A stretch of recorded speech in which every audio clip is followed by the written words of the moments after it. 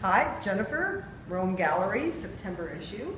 I didn't get the opportunity to interview all of my amazing, wonderful artists the night of the Meet the Artist event, so uh, they're all coming in to visit me during the week, and I'm really happy about that. So today I have the incredibly talented photographer, Kat Kozak. So Kat, first tell us a little bit about yourself, please. Sure. So uh, I'm a professional photographer and I've been in business for about 10 years now. Uh, my company is called Cat Eye Imaging and I focus on commercial photography and imaging enhancement. Uh, since moving to Vancouver three years ago, I also had the privilege of running a local event called Vault, otherwise known as Vancouver Alternative Arts and Fashion Week. And uh, it's been really successful. We're actually going into our fourth year this year. And I had the pleasure of meeting Jennifer recently, and she invited me to be part of her fashion focused event. So I'm here showing some of my personal fashion photography that I've done over the years. Uh, these couple here I took back when I was in college and university.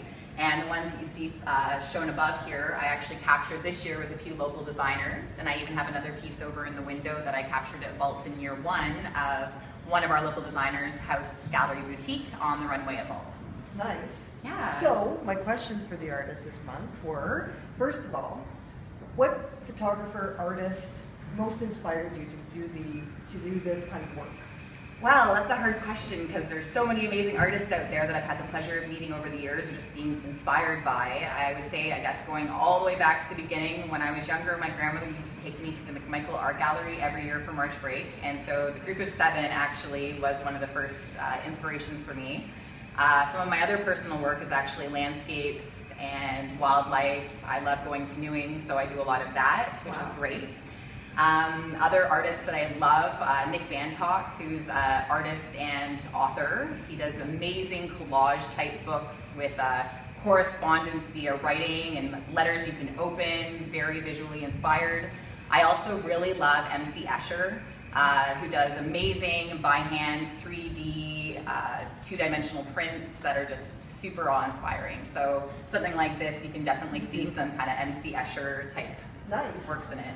And my other question, because it is fashion based and we have to be a bit frivolous, what's your most favorite, like when you think back of all the things you've ever worn, what's that, what's that piece? Also a tough question. Uh, my mom had some really eclectic type pieces in her closet that I used to play with and dress up uh, over the years with. So that was kind of, I guess, where it started.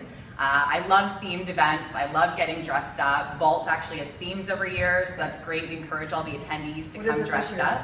Uh, this year, the theme is Wild Spaces, and each night is uh, Terrestria, Celestia, and Aquatica. Oh, so hopefully you can all come out and get dressed up and be part of the you know art experience. Perfect. Um, as for my favorite piece right now is actually pictured just up here. Uh, this necklace is by Carolyn Bruce Design Steampunk Jewelry.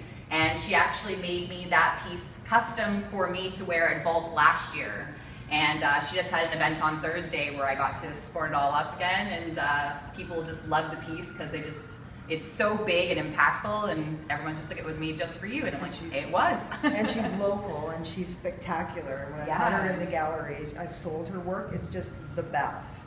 So yes, Carolyn, you should be in Nordstrom's to get your jewelry. And it was great because I actually had her make it for a dress that I was wearing by this designer, Trish P of Tastemakers, who does uh, kind of a good, uh, feel good, look good, do good collection. And so this was kind of bringing awareness to uh, the disappearing of bees and how we need bees again. And I'm actually learning how to beekeep this fall, so I also believe wear and do. and uh, this is one of her newer pieces. She's doing an entire kind of underwater collection, and she's showing at Aquatica this year at Vault. Oh, fun. Yeah. So what are the dates at Vault? So November 20th to 22nd. Okay. So each night that weekend is a different theme, and it's so much fun. We really encourage everybody to come out and have a good time. And that's, is that right after the crawl? Or during? I believe so. I think it's, I, am not sure. It might be the same weekend as the East Side Culture Crawl. And so you've got lots yeah. of, lots of lots things going, on. in the city. I better not have an opening that weekend. Uh, I wouldn't blame anybody. Anyway, Kat, really great to meet you. Pleasure. Thank you so, so much. working with you. You as well. Thanks again. Come to ROAM Gallery.